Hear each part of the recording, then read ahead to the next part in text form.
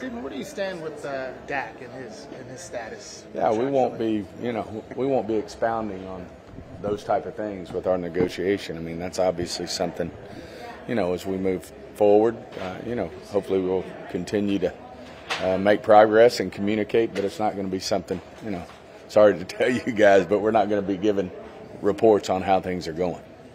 Do you need, can you do the things you want to do in free agency with his cap number at 59 and a half?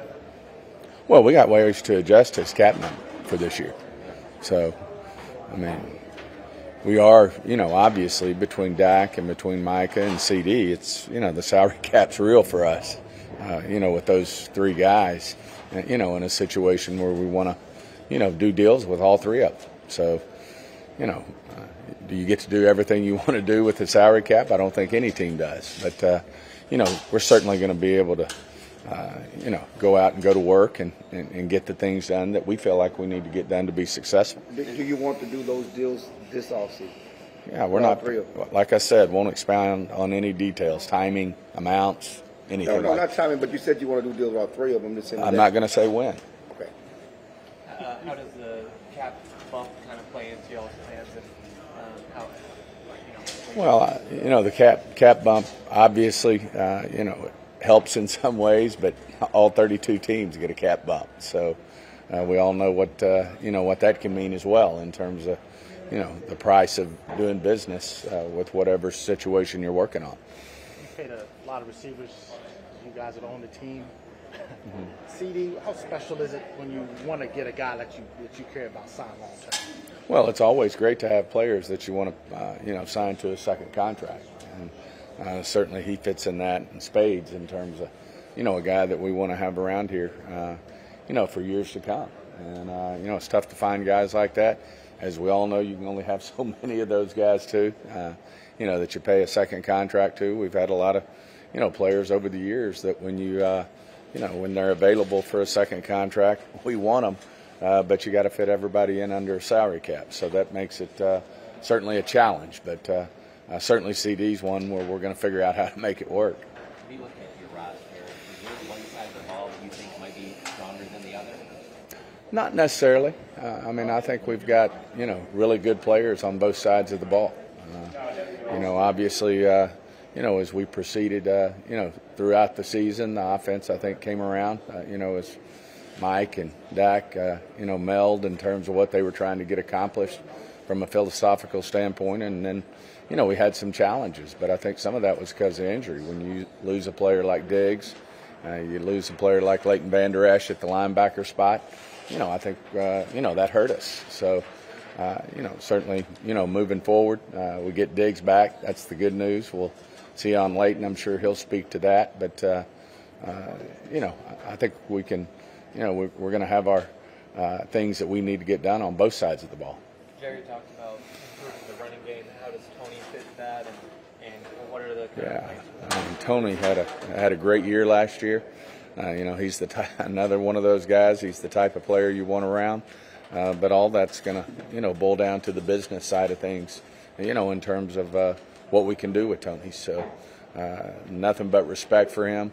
Uh, not only is he a great player, he's a great man off the field. Uh, like I said, the type of player you want in your organization. But we'll just have to see, uh, you know, where the business falls. Jerry said at the at the Senior Bowl that you're all in for this year and might not think about the future as much as you have in the past. Mm-hmm. Yeah. Is there a, a shift in how you guys are thinking? I've never known Jerry not to be all in in any given year, but uh, uh, you know, you, you, you know, certainly, uh, you know, we've got a great, I think, a great team put together.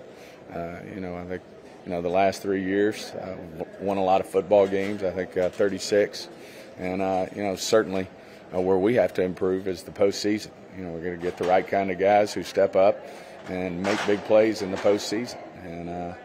It's been a challenge in terms of our success there, and that's where we have to improve. Any answers that you that you guys have kind of come up with? as You know, it's a you know we're taking a holistic view of this thing, and we'll continue to look at it. Uh, obviously, uh, being here at the combine is going to be you know a great time to spend some time in terms of looking not only at the uh, young players that are going to be out there, but just spending time uh, you know together uh, internally, spending a lot of time talking about uh, you know, what we have to get accomplished. We think in order to uh, take the next step. You mentioned Vander Esch.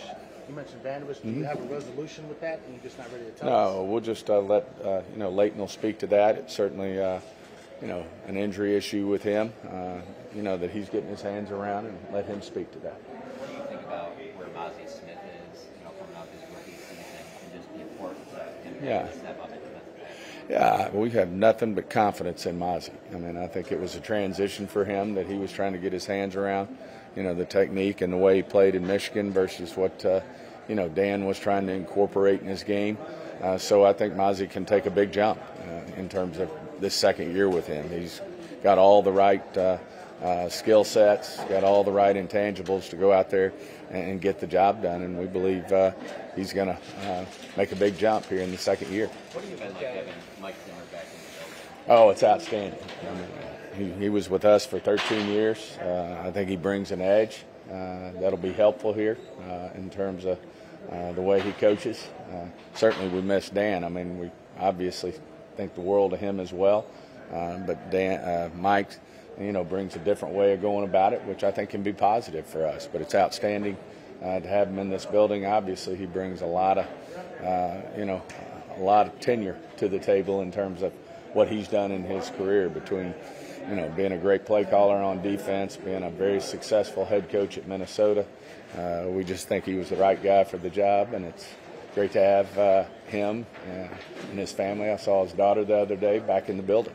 Does Zimmer, what he want defensively in players and attribute, attributes and things different than what Dan wanted? There's always a little difference when you make that change. I mean, that's why, you know, it, it, it, it's a little bit of a challenge when you make that transition. Every guy's going to be a little bit different. I mean, there was a difference between uh, Kellen and uh, Mike in terms of, uh, you know, the way they go about having success on the offensive side of the ball. Certainly, there'll be some differences, you know, in the way Mike has had success in this league, and then the way certainly a difference in the way Dan has. Zimmer's edge mentioned.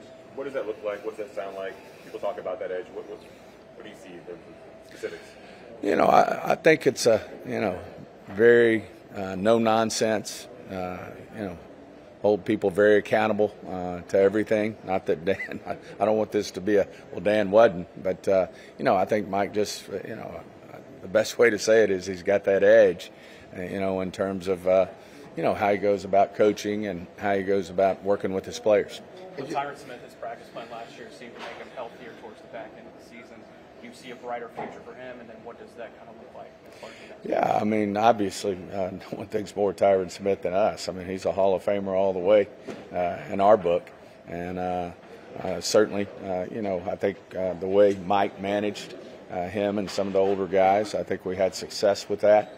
Whether it be a Zack Martin, whether you know any of the older guys, I think it, you know, helped them out, and certainly, you know, at the same time, Tyron's missed games. He missed a few last year, but uh, we'll certainly be sitting down with him and uh, looking at uh, what it looks like for him to stay here. What are your, you look at, we're at the combine, obviously looking at college prospects. What are your needs as far as, what do you, what do you look at these college guys and what do you need? What do you look at your team needs? I mean, first of all, you want the right kind of guy in the building. A guy who's very competitive, a guy who's, uh, you know, who's all about football, if you will. Right. I mean, we all understand faith and family as well, but uh, football's got to be important to him. And then, you know, we just, uh, you know, look for a guy who's going to really help take this team uh, to the next level. And uh, certainly we'll be spending a lot of time on that and trying to, uh, you know, make sure when we're uh, picking a player that he fits, you know, those things. And, you know, we certainly have obvious needs, uh, you know, on both defense and offense that we'll need to. To look at uh, with guys who are going to be free agents, obviously Tyron and Biadasz, and uh, you know you got guys who are going to be free on that side. Uh, obviously, the linebacking situation we got a little thin there. Uh, you know what Mike's vision is for Micah. Is he a true, you know, pass rusher most of the time, or got some? You know, last year he ended up that's pretty much what he did, and I think, you know, very effective. But I think it hurt us with our linebacker depth because we were thinking, of, you know, he was going to do more linebacking. But you know, I think between the linebacker situation and you know, obviously we're we're still working, work in progress on getting better against the run. How difficult is it to formulate a full draft strategy compared to recent years until free agency kind of shakes out to see what the team needs I think it's the same every year. I mean, you're obviously, uh, you know, going into a draft, you never want to be drafting for need.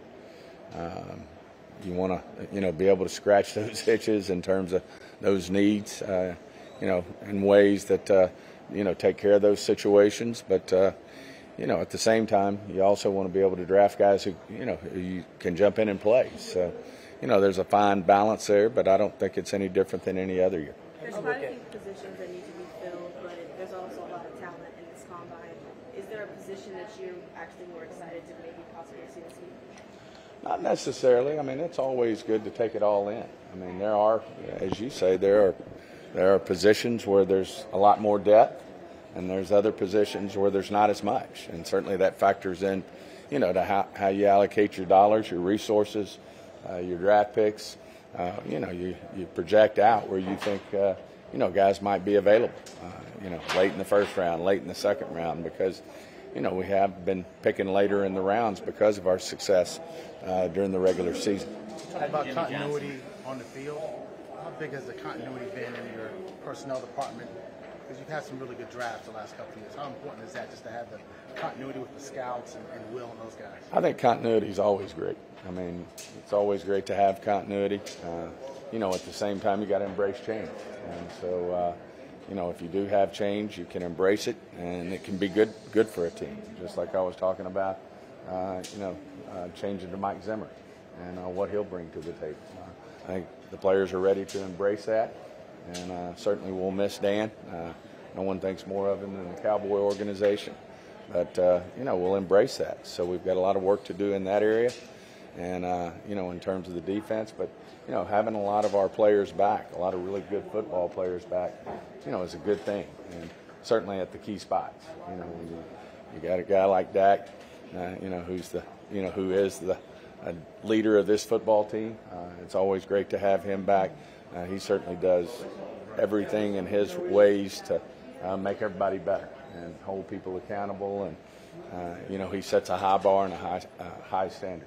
You called the, the, the big three, Dak, CeeDee, Micah. It's a good problem to have because you get good players. How much, how, how challenge, more challenging is it than it was years ago when you had guys at the top of the market?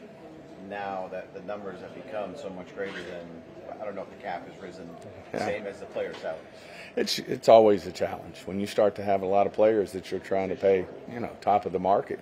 You know, it's a challenge, but the cap has gone up tremendously. So it's, uh, you know, to me, it's not a lot different. It's just, uh, you know, how many guys you're trying to fit in there, and to me, it's a, you know, it's about players. Uh, you know, we had a situation last year where you end up losing a guy, but you end up getting four players rather than what you might have paid one player. And you know, that's the way you have to look at it. Would you rather have you know, three or four players for three and four and five million apiece, or one player for twenty million.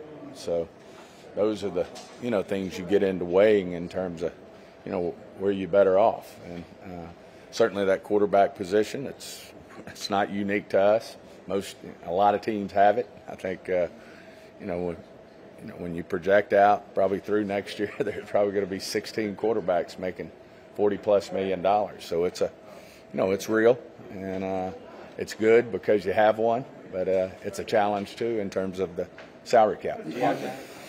On that point, is it important with those three guys in particular that you mentioned other teams also get all the cap bump as well to not let them hit the open market free agency so you're not in a bidding war with anybody else? Yeah, I mean, I think everybody has their priorities in a certain situation. Uh, you know, it's you, you get to this time of year, you know, if you don't have something already done, you know, obviously the three guys that we talk about that are the priorities, uh, you know, they won't be able to go to the open market this year. So, uh, you know, they're, they're going to be, you know, on this team next year, and that's a great thing. It's, you know, but once guys usually get to this window and they have a chance to be free, uh, you know, usually it's hard to get something done. Not impossible, it gets done. We've done it before, but usually it's real hard to get something done because they do want to see, hey, what situation's out there. Because you don't have to, you can't use the tag on Dak and the Bushman trade and all that. Do you have to start thinking about the possibility of life without him at all at this point? Yeah, we won't get our whole thing with Dak is him being a cowboy. That's all that's on our mind, and uh, certainly don't get into those type of thoughts. NBA has a NBA has a supermax where two players on the team get a lot of money. Would you be opposed to that for the NFL? I'm not going to get into theoreticals today. I'll pass on that one. So, so, so not timeline wise, but you do want to extend that. oh yes, absolutely. Okay. What's your best case scenario for organization in terms of the Dak's contract? What do you hope happens there this offseason? You know, uh, like I said, that's just details. I mean, I, I don't want to get into the details of that, and uh, you know, we want to be certainly respectful of the negotiation, and uh, you know, certainly we have our thoughts and our views, but uh, you know, he's I'm sure Dak and his team have their thoughts and views, and we'll continue to see how we bring those together. Meeting this week with Todd here in the meeting? Yeah, like I said, not going to get into any details on anything when it comes to these negotiations. Have they begun? Not going to get into any details. Are y'all done? I'm not done. Coach McCarthy not here. What's he missing, and what's different about not having your head coach? Yeah, I mean, you know, this day and time, there's, a, you know, you see more and more, uh, you know, coaches who are, you know, are really focused on, uh, you know, install and, and, and what we're going to do next year. Certainly, Zim the same way on the defensive side of the ball. Uh, we can get all the work done. He can get all the work done. They can Zoom uh, and hear these interviews. Uh, certainly, I think I find myself watching the TV more so than I do what's going on on the field because you can see them closer. And uh, so I don't think they're missing anything. I think it's just fine that they're doing what they're doing and they're prioritizing, you know, their installs. Uh, both mics are, if you will, uh, and you know, prioritizing that over being here. Last three days or so you've been here for the competition committee stuff. What do you anticipate kickoff related wise and Yeah. any rule changes? I mean, uh, uh, positive that we can come up with a better uh, situation uh, for the kickoff. I mean, you got 13 kicks and 12 of them were through the end zone. Uh, uh, you know, I think everybody uh, wants something different. They don't want a ceremonial play. Uh, they want it to be a real play, and uh, we just got to do it in a way that's you know safe for the players, so you don't have the injury rate that we've had in the past. That it's more in line with what a typical football play is. So I think that's really important, and you know I think the special teams coaches, uh, Bones is on that committee, doing a great job at uh, looking at some alternatives. So uh, you know I think we'll have something uh, to present to ownership uh, at the spring meeting, and uh, hopefully something that we can do. It'll probably be for a year, more than likely, just because they're going to be doing something more than likely that's a little different. But uh, I, I think it can be a, a positive play that the fans uh, would really enjoy. Is hip a little difficult to manage or ban in a sense? You know, depends. Uh, you know, depends on who you're asking. Uh, you know, personally, I think you can. Uh, I think the officials can officiate it. I think it's got to be defined the right way.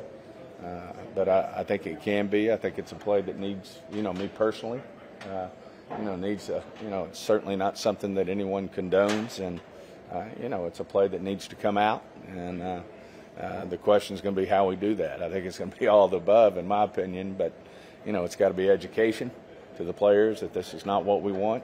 I think there's probably going to be fines involved in it uh, at all levels, and then I think, uh, you know, at some point, uh, you know, that's you know where it gets a little tougher. But I think a lot of people do believe it can be officiated. Not everybody, but a lot of people do. A lot of your a lot of your players since the season and lost have talked about the culture and how that needs to be addressed or changed. Who's that? A lot of your players since the season ending loss have talked about the culture. The culture. Yes. I Oh. don't know. Have you guys addressed that, or you talked about that? Have you that that was a problem? That maybe ever come up reason why y'all lost? But I don't know if has that come up in. No. You worry about the culture on No, the I team don't. entitlement or anything like that. I think uh, you know, from the organization on down, we feel we feel good about our culture. You always want to be better. I will say that. I mean, if you're not, you know, if your results aren't winning the Super Bowl, I think everybody's saying, how do we, you know, how do you ultimately be the last guy standing? Uh, but I think overall, between, you know, organizationally, between, uh, you know, our coach, our our, our personnel department, uh, I think our leadership on our team's outstanding. So, you know, you're always going to have somebody who's, you know, going to say something, uh, you know, that's not, you know, that might be, hey, that's their particular thought process on why we may have come up short, but I don't think in general, personally, I don't think it's an issue. With Jerry talking about the running game needing to improve, how have you kind of evolved in that from a personnel standpoint? Obviously, you drafted Zeke really high. Um, is it free agency? Is it draft, mid round, high round? Like, how do you kind of look at? I think it's a, the, everything. I mean, I think we have to continue to look at, uh, you know, our schemes and what we're doing there. I know Mike uh, certainly, you know, he's a, as you well know when you talk to Mike, he wants to run the football well. He think that's, you know, at the end of the day, thinks you know that's very important. Uh, part of the offense is to be able to run it effectively, and so then you're looking at, uh, you know, how we do that, you know, how we coach it up. And you're looking at the players, uh, the personnel, uh, the whole nine yards. So I, I don't think it's any one thing. I think you got to look at the, you know, look at it holistically and then come back and say, here's here are the changes we're going to make to be better. Mike has said he wanted. Mike has, at the end of the season, Mike had said we need some thumpers at linebacker, bigger guys. Mm-hmm. When you look back on the season, what are your thoughts about the linebacker position? Well, I think when you you know when we move Bell down down there, you've got a you know a player that started as a safety playing linebacker. So uh, there's no question uh, losing Leighton was a you know that was a, a difference maker in terms of uh, what he was bringing to the table in terms of his size and length. And uh, you know I think that's a very fair statement that we can be more physical and uh, need more uh, size at that position. I think Mike Zimmer, you know, when he talks, I'm sure he's going to echo those thoughts too. He wants more size there and physicality there, and uh, I mean, I think Bell was outstanding, but he is, you know, he he, he was a safety when he started the season. So, uh, and then you know, in general, that was our scheme. You know, a more of a three safety, two linebacker scheme than we were a three linebacker, two safety scheme. So, you know, I think those are all things that, you know, Mike's going to get in there and we're going to look at and we'll come up with a good solution that we think will make us better against the run. I mean, obviously, running the football and stopping the run are at the top of our list uh, this offseason. Johnson recently said that he's on your dad's advisory board. what do you think that consists of, and, and who else is on the advisory? well, we all know what we think of Jimmy. Uh, certainly, it was great to get him uh, in the Ring of Honor, uh, and he's certainly a guy uh, that Jerry respects his opinion. I respect his opinion. Uh, the success he had here with the Cowboys is undeniable. That's why he's in the uh, Pro Football Hall of Fame. That's why he's in the Ring of Honor. Not just what he's done for us, but you know, as a coach in general. So, uh, uh, you know, I know Jerry picks up the phone and likes to uh, talk to a lot of folks that he respects. I mean, he used to talk to John Madden as well. So, uh, I think he's, uh, you know, certainly somebody it's always great to bounce something off of. Would you prefer to keep Tyler Smith at left guard? You know, that's uh, you know remains to be seen. I mean, it's starting to feel like Larry Allen uh, all over again. I mean, he the great thing about Tyler is his versatility. He could be a great left tackle too. I mean, Larry Allen, I think played either one or one and a half or two years at left tackle. I think he made All Pro those years too. So uh, he can. Uh, Tyler's got that in him, and you know, I think at the end of the day, when we're you know all through massaging it, we'll have a good spot for him and the great news is we have Tyler Smith, and uh, his versatility certainly brings options uh, to the table in terms of how we look at this team uh, as we move forward. With Trevon Diggs, and Overshown, where they are with their it realistic to see them do any sort of work by OTA time, or is it more realistic for camp? I think it's more realistic for camp when you look at the injuries, uh, you know, that they had.